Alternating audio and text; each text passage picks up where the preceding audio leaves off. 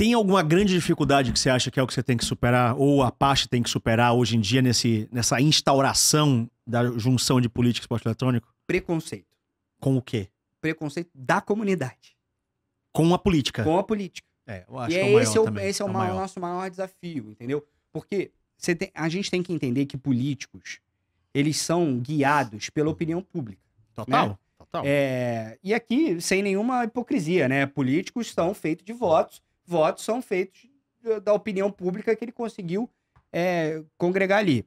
Quero trazer aqui um tema, e isso é muito importante, é o Steve Bannon, que é o estrategista de campanha do, do, Trump. do Trump, tem um livro chamado é, Engenheiros do Caos, que é- é um pouquinho de como essas pessoas conseguiram tomar a internet nessa polarização política, que cansou todo mundo. Hoje todo mundo fica falando Nossa. política. Cara, eu não quero mais ouvir falar em política. Pô, é Lula e Bolsonaro, não quero saber disso. E a gente não tá aqui pra falar disso. Mas o Steve Bannon entendeu o seguinte: a comunidade gamer tinha um poder sobrenatural na internet.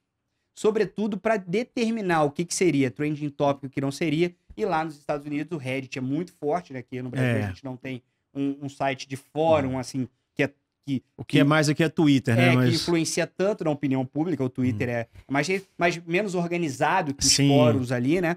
Então ele entendeu que a comunidade gamer decidiu o jogo na internet. Olha o poder que a comunidade gamer tem. Só que a comunidade gamer no Brasil não sabe que tem esse poder.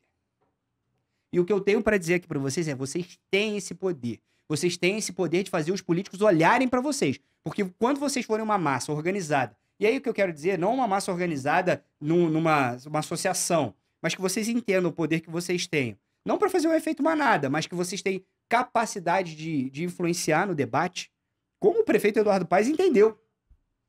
Ele tá olhando pro capital da cidade e olhando pro capital político Claro. também, óbvio. Ninguém tá É, fazendo isso é, já, olha é, só, eu sou um anjo. É, t- todo mundo olhando pro capital político. Políticos olham para seu, seus capitais políticos.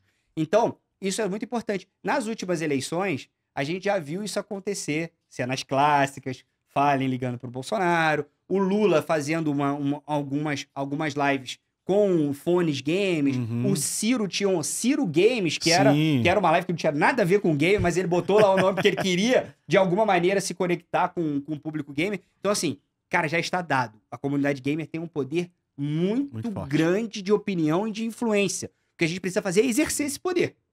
E, e- e a- o meu cargo é um pouco dessa influência, dessa, dessa, desse exercimento de poder da Total. comunidade gamer. Total. Quando a comunidade gamer esgota os ingressos em 5 minutos pro Major, ela tá mostrando ali uma força, né? E ela tem esse poder na internet, tem um poder dessa força, mas o que a gente precisa fazer é tirar as paixões. Tirar as paixões de lado. E isso serve pra mim também, porque eu sou uma pessoa muito apaixonada por muitos assuntos. Então é tirar a paixão de lado e olhar o que que é importante para a comunidade gamer.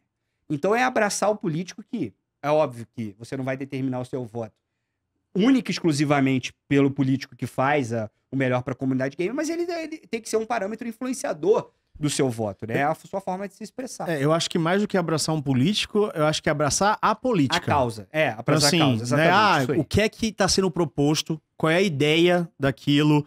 O que é que ela. Como essa ideia é embasada, né? Porque também acho que a gente não pode cair na- na- no discurso fácil, sem, né? sem dúvida. A gente tem que que entender o que é que tá exigir- acontecendo. Exigir a aplicação daquilo ali, daquela política pública. né? Exatamente, a transparência, como isso vai ser feito, né? Porque promessa a gente tem aos montes aí. Eu o tô prometendo inteiro. um monte de coisa É. aqui, prometendo pra 2024 ter o summit e tudo mais, mas eu quero que. Especialidade de que- política é prometer. É, exatamente. Hum? Quero que chegue aqui no ano que vem e fale assim, mas peraí, vamos recuperar aquele programa lá? Olha, o que, que foi isso daqui? O que, que aconteceu disso aqui? A arena, como é que tá?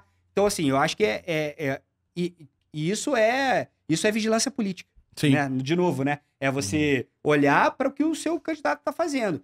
E mais do que isso, né? É, é fazer, fazer a sua voz ser ouvida enquanto sociedade.